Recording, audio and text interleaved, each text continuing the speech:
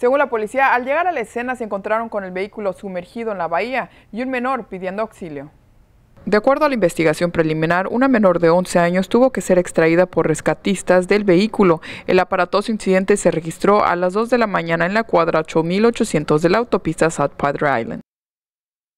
Ella fue transportada a un hospital local. Hasta el momento solo tenemos una fatalidad registrada. Las autoridades creen que la mujer de 33 años de edad que conduce el auto perdió el control de su carro al tomar una curva en la carretera. Aún no se determina si viajaba a alta velocidad o bajo la influencia de alcohol.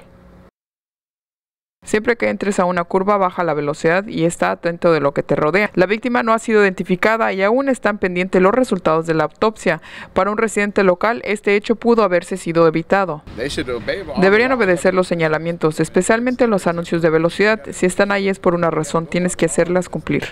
Ibáñez dice que debido a esto, él ahora tomará más precauciones a la hora de manejar. Mantente seguro, actúa como si tu familia es la que va al lado. Ten cuidado y siempre esté al tanto de lo que entornos. Las autoridades hasta el momento no han dicho si la menor y la víctima tienen algún tipo de relación o si estas son residentes de la región. Eso es todo de mi parte. Regreso al estudio.